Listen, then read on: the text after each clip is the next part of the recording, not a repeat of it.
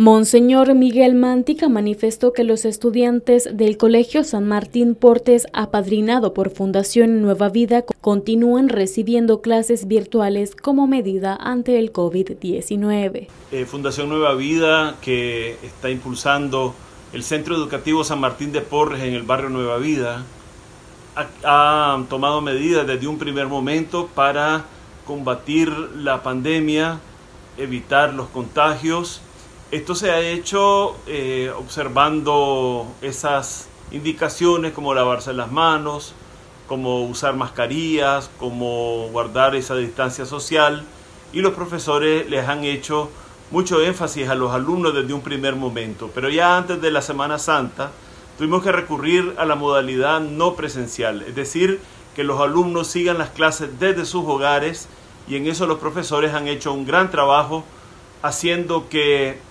eh, ellos puedan seguir sus clases vía, por la vía informática. Asimismo, Monseñor Mántica refirió que la crisis sanitaria está afectando la sostenibilidad de esta fundación. Estamos en este momento enfrentando una situación difícil eh, económica para la fundación. Muchas personas que nos ayudaban en el pasado ya no pueden hacerlo o han interrumpido temporalmente sus donaciones. Espero que esta sea la oportunidad para que personas nos contacten y nos, den su apoyo al 888-172, que es mi teléfono, o pueden también hacer donaciones en caja cuando terminan sus compras en supermercado la colonia donde tenemos esa campaña. Noticias 12 Anduriña Ortiz.